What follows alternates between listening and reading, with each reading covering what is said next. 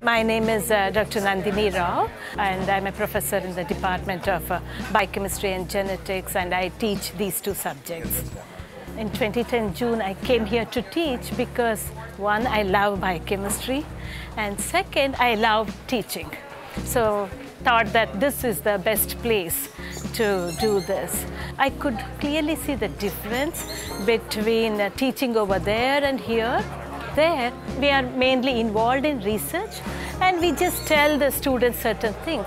While here, the faculty teach the students, and that's where my heart lives.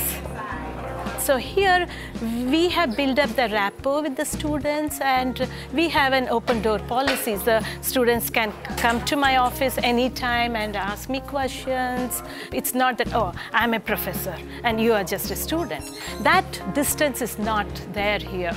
If they don't like some parts of my teaching, they're most welcome to come and tell me and they do it. You know, Dr. Rao, oh, we didn't understand this. Okay, fine. So that is really good. Yeah, and I like it. It helps me to grow.